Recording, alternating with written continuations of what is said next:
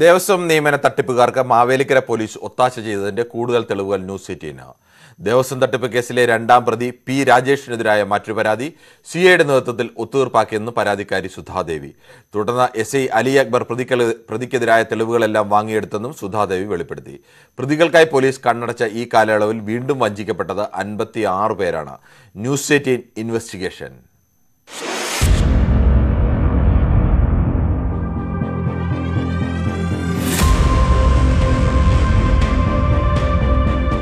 ദേവസ്വം നിയമന തട്ടിപ്പുമായി ബന്ധപ്പെട്ട് മാവേലിക്കര പോലീസ് പ്രതികൾക്കായി ഒത്തുകളിച്ചതിന്റെ ഞെട്ടിക്കുന്ന വിവരങ്ങളാണ് പുറത്തുവരുന്നത് ബിനീഷിനെതിരെയുള്ള ആദ്യ പരാതി ഹയർ പെറ്റീഷനായി മാവേലിക്കര പോലീസ് സ്റ്റേഷനിൽ എത്തുന്നത് കഴിഞ്ഞ ഏപ്രിൽ മാസത്തിലാണ്. എന്നാൽ സർക്കാരിന്റെ വ്യാജരേഖകളടക്കം ചമച്ച ഗൌരവമേറിയ പരാതി സ്റ്റേഷൻ പരിധിയിലല്ല എന്ന് ചൂണ്ടിക്കാട്ടി മാവേലിക്കര പോലീസ് നിസ്സാരമായി മടക്കി. പിന്നീട് മെയിൽ കോയിപ്പള്ളി കാരായ്മ സ്വദേശി സുധാദേവി സമാനമായ രീതിയിലുള്ള മറ്റൊരു പരാതിയുമായി മാവേലിക്കര സ്റ്റേഷനിലെത്തി. ദേവസ്വം കേസിലെ രണ്ടാം പ്രതി രാജേഷ് ബുക്കോയിൽ ജോലി നൽകാമെന്ന് പറഞ്ഞ് രണ്ടര ലക്ഷം തട്ടിയെടുത്തുവെന്നായിരുന്നു പരാതി. ദിവസങ്ങളോളം അനങ്ങാതിരുന്ന പോലീസ് ജൂൺ ഇരുപത്തിനാലിന് സി ഐ ശ്രീജിത്തിന്റെ നേതൃത്വത്തിൽ സുധാദേവിക്ക് പണം തിരികെ നൽകാമെന്ന ഉറപ്പിന്മേൽ മറ്റൊരു അന്വേഷണത്തിന് മുതിരാതെ കേസ് ഒത്തുതീർപ്പാക്കി. പണം നൽകിയതായും പരാതിയില്ലെന്നും സ്റ്റേഷന് പുറത്തുവച്ച മുദ്രപത്രത്തിൽ ഒപ്പിട്ട് വാങ്ങിയതായി പരാതിക്കാർ വ്യക്തമാക്കുന്നു. ഇതുപോലെ ഞങ്ങളിത് ഇങ്ങനെ അവിടെ നിന്നോണ്ട് ഇവർ ചോദിച്ചു എന്താന്ന് ചോദിച്ചാൽ പറഞ്ഞത് ഇത് പൈസയുടെ ഇടപാടാന്ന് പറഞ്ഞോണ്ട് ഇവർ പറഞ്ഞ അമ്മ രാജേഷിന്റെ ആണെങ്കിൽ കേസിനൊന്നും പോവല്ലേ?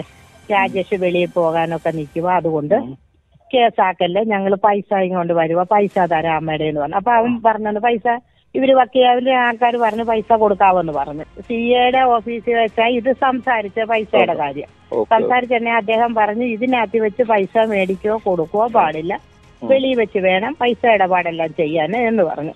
അത് നിങ്ങൾ പോകാൻ നേരത്ത് പൈസ മേടിച്ചും കൊണ്ട് പോകണം പൈസ മേടിച്ചു കഴിഞ്ഞ് ഇതിലോട്ട് വരരുതെന്ന് പറഞ്ഞു. രാജേഷിനെ വെളിയിലിറക്കി. രാജേഷിനോട് സംസാരിച്ച് ഇനിമേലിൽ ഇങ്ങനെയുള്ള കാര്യങ്ങൾക്കൊന്നും പോകരുത് അവർ പറഞ്ഞുകൊണ്ട് മാത്രമാ കേസ് ഫയൽ ചെയ്യാത്തത്. എന്ന് പറഞ്ഞ് നമ്മുടെ പൈസ ഞങ്ങൾ നിങ്ങൾ പൈസ തന്നെ മേടിച്ചും കൊണ്ട് പോയിക്കോളാൻ പറഞ്ഞ് അങ്ങനെ പൈസ മേടിച്ചും കൊണ്ട് ഞങ്ങൾ ഇങ്ങ് പോകുന്നു. അവിടെ വെച്ച് തന്നെ ഞങ്ങളെ കൊണ്ടൊരു ഒരു പേപ്പറിൽ ഞാൻ പറഞ്ഞു ഇനി ഈ പൈസ മേടിച്ചെന്ന് പറഞ്ഞ് ഞങ്ങളുടെ പേര് രാജേഷ് വിന്നപ്പിൽ ഒന്നും വരുന്നു ഞാൻ പറഞ്ഞു നിങ്ങളും അങ്ങോട്ടും പോകാൻ പാടില്ല.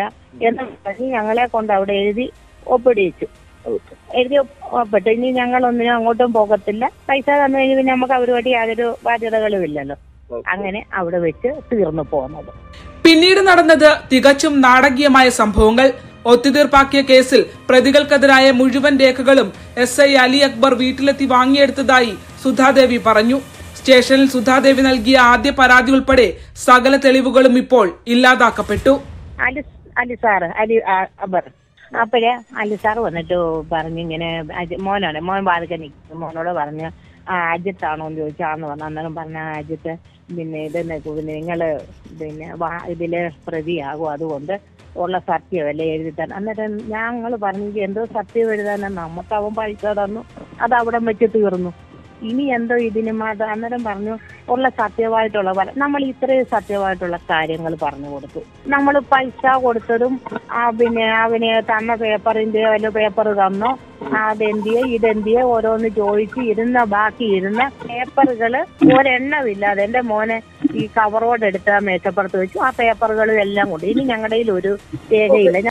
ഏപ്രിൽ സ്റ്റേഷൻ പരിധിയിലല്ല എന്ന് പറഞ്ഞ് മാവേലിക്കര പോലീസ് മടക്കി അയച്ച ആദ്യ പരാതിയിൽ കേസെടുക്കാൻ ദേവസ്വം കമ്മീഷണർ തന്നെ നേരിട്ടിടപെടേണ്ടി വന്നു.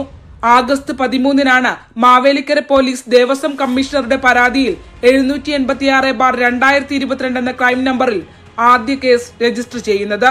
സി പി എം മുൻ ബ്രാഞ്ച് സെക്രട്ടറി അടക്കമുള്ള പ്രതികൾക്കായി പോലീസ് കണ്ണടച്ചു നൽകിയ കാലയളവിൽ അൻപത്താറോളം സാധാരണക്കാരാണ് വഞ്ചനക്കിരയായത് ദേവസ്വം നിയമന തട്ടിപ്പിൽ പ്രതികൾ നേടിയതാകട്ടെ മൂന്ന് കോടി എൺപത് ലക്ഷം രൂപയും. Saranya Snehajan news eighteen Alappuzha.